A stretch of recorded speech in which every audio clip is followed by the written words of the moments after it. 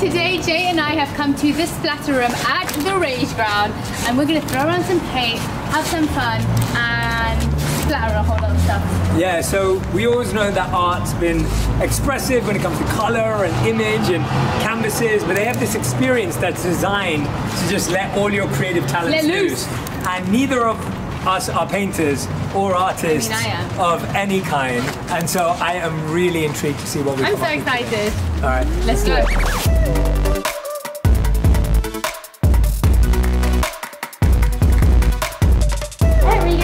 Yeah. Ready. Awesome, Do come on in. This is our paint room.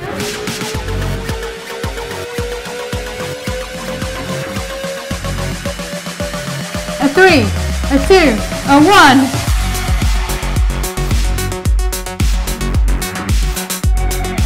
Oh, I can see it sounds gross in my ear. I love that. Oh, that's it. That's it. Let's see which colours will actually glow in the dark. Oh, oh the Vardy J is in glow in the dark. Okay, Where, whoever where, where, where, where would we put this up in our house? in your office. In our office? No, in your office. in my office. Yeah, I, I, I feel like you deserve it in your office. Okay. Wow. It looks actually, I'm it actually actually looks really incredible. I'm, impressed. I'm so impressed with I'm it. actually really impressed. So am I. Okay, cool. All right. What's next? Tell me. Oh wait, look, it printed what I wrote on your back on the wall. What do you think it said? Absolutely no idea. What do you think it said? I'm so cute. No. Then Guess. tell me. I love Jay. Oh gosh.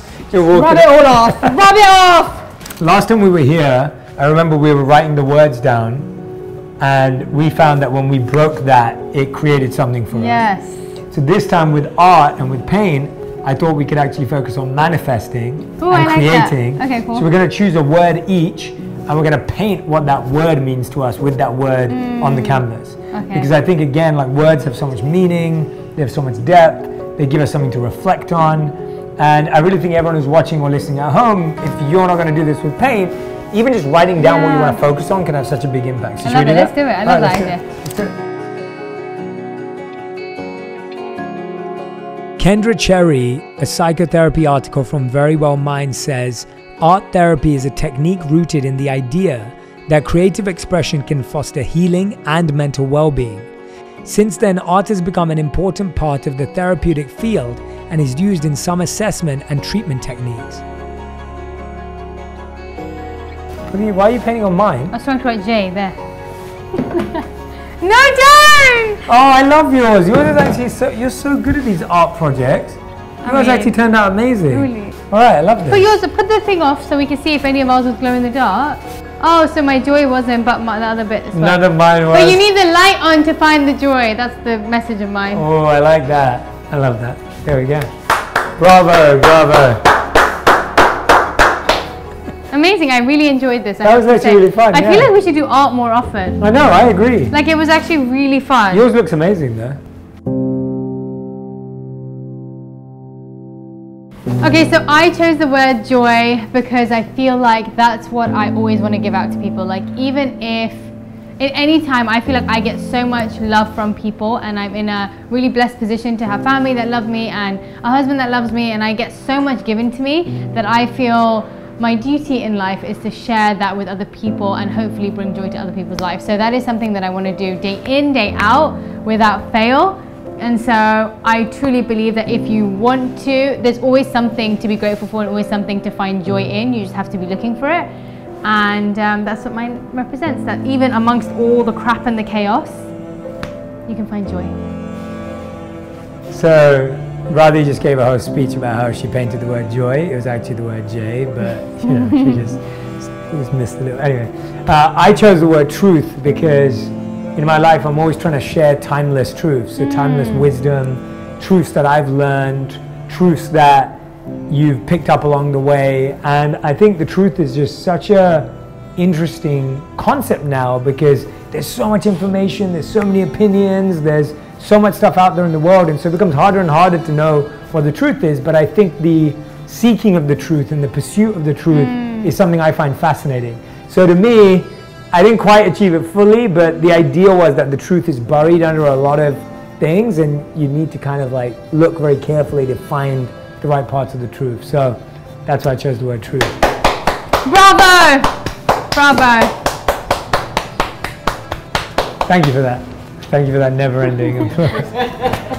So now we are going to, uh, we brought along a few pieces of clothing that we thought we would decorate and um, take away as a memorabilia. So I brought um, a tracksuit which basically I stained, tried to remove the stain, didn't work. So I really like this tracksuit so I thought I'll try and make it wearable again. And, you brought... I bought my Misfits sweatshirt that I love and I thought it would look dope if it had some more white think that'd be sick. and splatter on it. Let's do So, it. Very excited for this. Less than an hour of creative activity can reduce your stress and have a positive effect on your mental health, regardless of artistic experience or talent. I find that when you're trying to be creative in a contained environment, you wouldn't do silly stuff. So it's like when you're trying to paint something perfect, you're like being really careful about every line and everything, and then it doesn't work out. Whereas when you get to just explore, you may actually discover something new. And so I find like I would never ever do this. And the idea of just letting paint free and not caring what it looks like means you discover a new technique or you discover a new method or you discover a new way. So even though I didn't like what I did on the front, I really think what I did on the back was cool.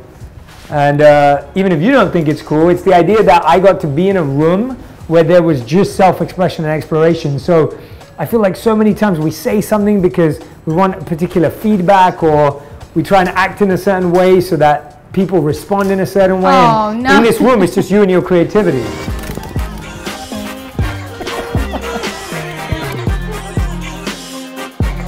Where's the gun?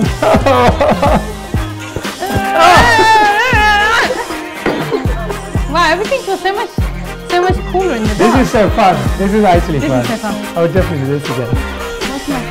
No, I was say, that was definitely, I feel, more fun than the break room. Oh, for sure. Um, I just love being creative, and it's also fun to see like what you what you said was so important. Because I think if I was thinking about making something or w- making this too specifically wear, I would have been so much more mindful about how I was doing things. But doing it like this allows you to just be free, and actually wearing something, knowing the feeling that I had after like while I was creating it, I feel like that's going to be so fun. So I think Radhi and I both agree we would a thousand percent do this again. For the amount of freedom, creative expression, So the fun. childlikeness. I really believe that we all need more play in our lives. Yeah. There's this really beautiful quote from George Bernard Shaw where he said that we don't stop playing because we get old, we get old because we stop playing. Yeah. And I feel like today I just got to play, I got to be a kid again. Like literally I just felt like I nothing mattered. Like it didn't matter what I do or what effect it has and what impact it has. fun, just so for fun. And like that is such a beautiful feeling to have. And I don't think we get that, you know, whether it's in your job or it's in your day-to-day life, there's routine, there's rhythm, there's like organization, and to Yeah. just break free of all of that and not have that to think about while you're creating something. and it's so much fun. You guys have to try this out. We are at the Rage ground. the rage ground. You just got paint on your hands. It's so much fun. You guys have to come and try it out. Do it with friends. Do it just yourself. If you just feel like you need to get a lot out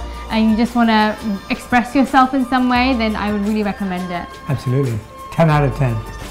Oh, and we want you to tell us in the comments what you want us to try Yes, next. l- We want us. to we want to try so many new things this year. We'll pick them at random. We will will. like write them all down and we'll pick them out of a hat of I what we that. should try. That would be really fun. So please recommend some stuff. It's always so nice to hear what everyone else is trying out in their lives so we can um, experiment with them too. yeah, see you soon. Thanks. Thanks guys. Here are three signs you're struggling with a lack of purpose. Number one, you feel pressure to know what you want to do with your life. Number two, you've lost interest in your own life and feel disconnected. Number three, you don't know what your skills are or you feel you lack them. Hope is not lost. You can get through this. Having purpose and meaning in our lives helps guide us through the ups and downs and create structure in our day to day life. That's why I've partnered with Calm, the leading app for mental health and wellness. The app has a library with thousands of meditations, songs to help you relax and focus, and sleep stories to help you get a good night's rest. And now you can find the Daily Jay, a daily series where I'm sharing proven tools and techniques to improve your mindset and mental health in a matter of minutes.